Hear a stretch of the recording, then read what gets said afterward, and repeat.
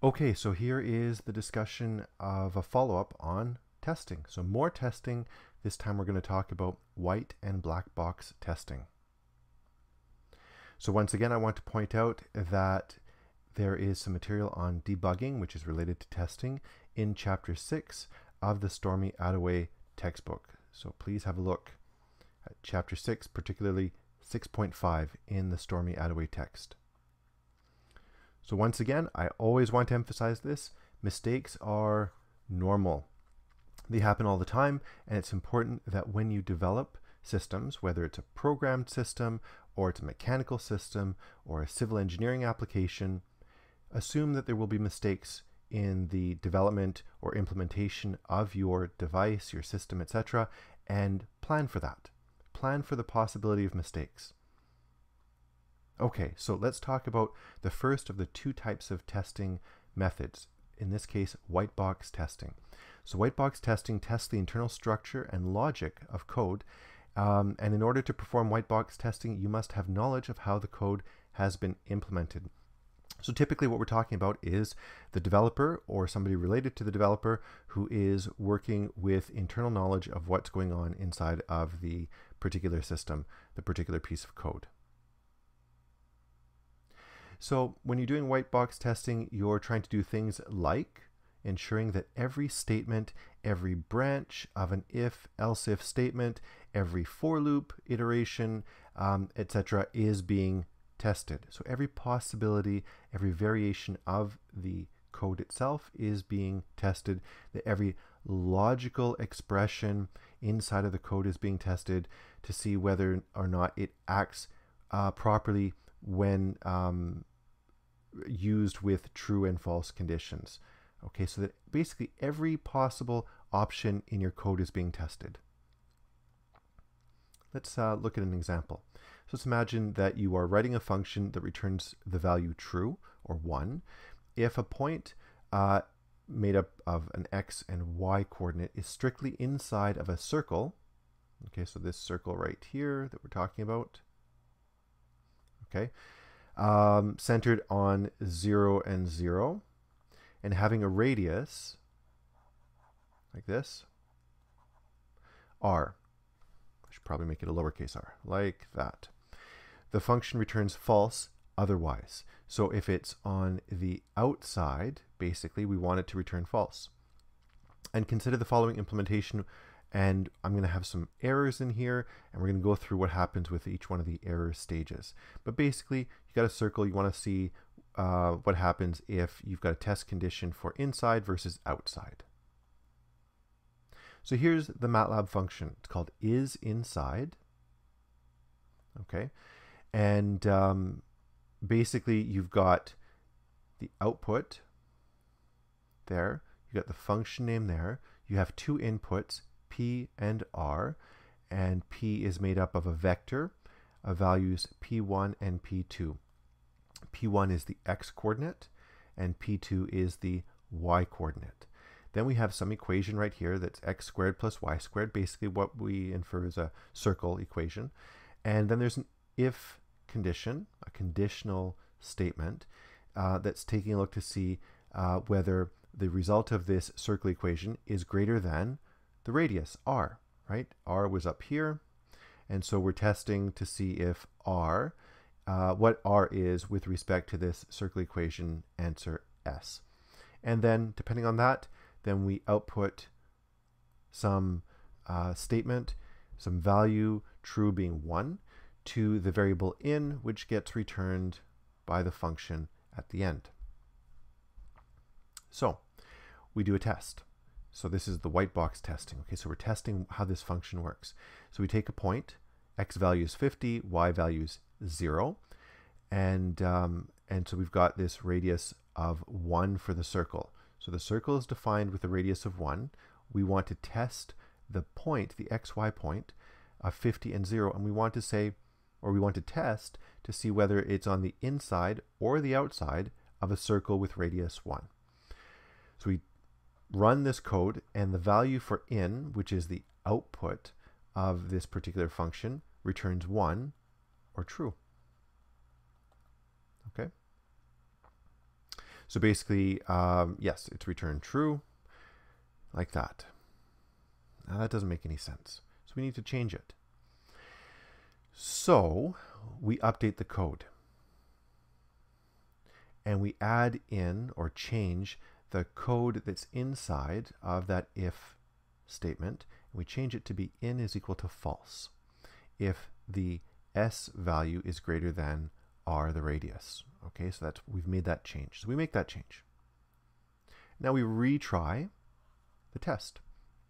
We keep the same uh, x and y coordinates, 50 and 0, and we are going to test for that point, 50 and 0, with a circle of radius 1. So we're doing a comparison between that point and the circle that is defined with a radius of 1. And we do that, and we get an output to this function of false, which is the correct answer, because 50 and 0 is outside of a circle of radius 1. Okay, now we try a second basic test. And so we're going to test to see if the point 0 and 0 is inside of the circle of radius 1. So we're testing to see if the origin uh, of the circle is inside of a circle of radius 1. And intuitively, we should be answering yes, of course, this is the case. Because you're smart and you're like an oracle. You know what this, what's going on here. Okay, you're an expert in circles. And um, so we, we run this code and we say in is equal to is inside. So that's the function, that's the output. And we put the origin in here and we test it against a circle of radius 1 and we get an error. We get an error. Why? Why would we getting why would we get an error at all, at all? There shouldn't be an error. But we have to inspect the code to see why. What is going on here? So we've got the function like this and we take a look um, at the code and we realize that it doesn't have a default condition that there are possibilities where s uh, wouldn't be greater than r, and therefore this statement wouldn't engage, that there would be no actual defined value for in. So we add in a statement at the very end of here, of that conditional statement, saying in is equal to true, because what we want is basically, we want a default statement, right? So we put this in here, and we run some tests. And so we do this uh, test, and we run it. So for the origin, and we've got a radius of 1, and the output of this function is now 1. It's true. Okay, so we are really happy with that. Great. So we're going to retry the first test again. So we retry. We've made some significant changes to the code. We want to test again uh, that first condition. So we've got an x and y value of 50 and 0. We have a radius of 1. Okay, so that's what we're going to test on. And we do this test of 50 and 0 versus a radius of one circle.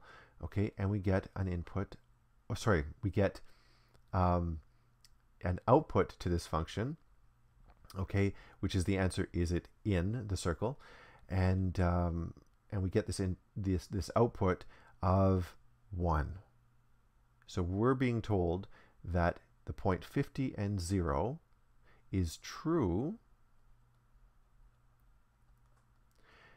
when there's a radius of 1 on the circle. And, and that answer is wrong, okay? It should be 0. It should be false. So we didn't get the expected output, so we have to look at the code again. And it turns out that we put this in is equal to true at the wrong place. What we should have done is had a slightly more complicated conditional statement. And that slightly more complicated conditional statement should be a two-parter. There should be the first one that says s is greater than r, so we're testing the radius, and, and if it um, if it is true, then we want to be saying that the, the condition is false. But otherwise, we want to say that the condition is true. So we want an if-else statement here. And that should help us out. Okay, so we need the second option. We need it to be the default in the event that s is not uh, greater than r.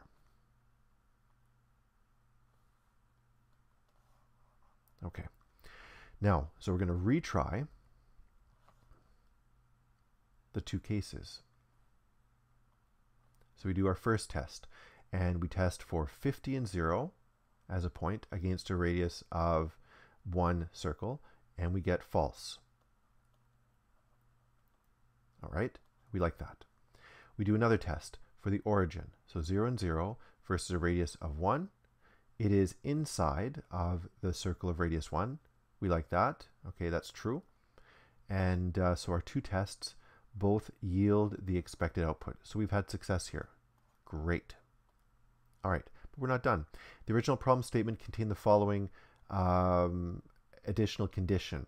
A point exactly on the perimeter of the circle should not be considered as being strictly inside of the circle. So we want to reject it if it's on the perimeter.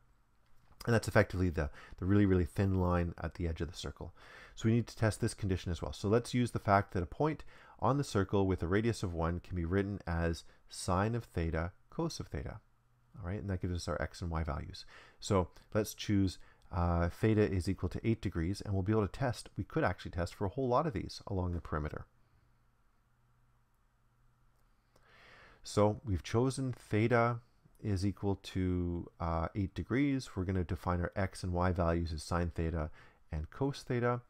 And we're going to use the uh, degree versions of the sine and cos functions. Okay.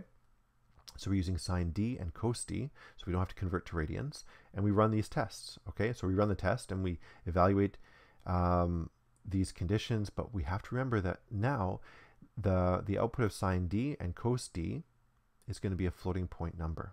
Okay, and a floating point number is effectively a number with a decimal point in it. It's a decimal point number. And so we get an answer of zero or false, which is the expected answer, which is great. Except that if we try and do it with whole numbers, so 1 and 0, which is also on the perimeter, okay, we get an answer of true, which is a failed condition. Okay, so that shouldn't have happened. So we've got contradictory uh, information or, or results based on the difference between a floating point number and an integer or whole number. Oh boy. Okay, so it's important to, po- important to point out that in MATLAB, um, you can have surprises like this when you deal with numbers that are floating point numbers or decimal numbers um, versus integer numbers or whole numbers. So for instance, if you were to test the conditionality of, or the condition for trueness between 0.3 and 0.1.1 and 0.1 added together, which is true, okay, that, that should be effectively the same 0.1, 0.1, and 0.1 together makes 0.3, and that should be equal to 0.3, but look, it says it's false. Oh, that's not true. Okay, how about this? 3 multiplied by 0.1 is greater than 0.3. Um, we check that out. Well, that should be false, right? Because it's not greater than 0.3. But the answer is 1, which means it's true, which isn't right. It's a lie. Okay, so these two answers are lies. They're not right or at least from my interpretation, they're, they're not right. Um, and then if we do sine of pi, is, is it equal to 0? Well, if you think about your basic trig functions, um, that should be true. But we get a false answer, okay? Which is not true either. So MATLAB is lying to us, um, and that's disconcerting. But it takes a little bit of insight, insight to determine why that's going on. All right. But it's important to point out that sometimes, if you're using floating point numbers, the answers won't be exactly like you're assuming. All right. So, in this particular case, the reasons why we were getting answers in our code that weren't quite right is because we were actually needing to put in a different version of the if conditional statement. So, what we wanted instead of s is greater than r, we wanted s is greater than or equal to r. So we've changed that. Fabulous. So we've changed the inequality, and now we should have a better answer. So we um, do some testing, we find out that it actually works. Let's try something else that's a little bit different. All right, let's test the point 1.999 and 0 with a radius of 2. Okay, so in this case, we should have a point that is inside of a circle that has a radius of 2. We run the code and we get a false answer. All right, MATLAB has effectively lied when we've taken this floating point number, this decimal, this decimal point number, and we've run the test. Why? Why has it failed? So yet again, we've had a problem. Well, that's because we didn't write our math quite right. It turns out that what we are really testing for, or should be testing for, is r squared. And the reason is because r squared is equal to x squared plus y squared. So r should be tested versus the square root of x squared plus y squared. Or r squared is equal to x squared plus y squared is the test we should be doing. That's effectively what we should be doing in here. That's the, the test we should be doing.